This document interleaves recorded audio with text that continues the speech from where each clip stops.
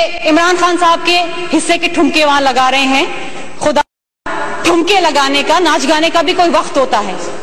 वहाँ पर चिल्ला चिल्ला के किफालत के लिए उनको बुला रहे हैं कि कहा है हमारे चीफ मिनिस्टर, बट कहा है काबीना? वहाँ इस्तीफे नहीं हो रहे। सारे के सारे खड़े कंटेनर के ऊपर और तारी- तारीफें हो रही है।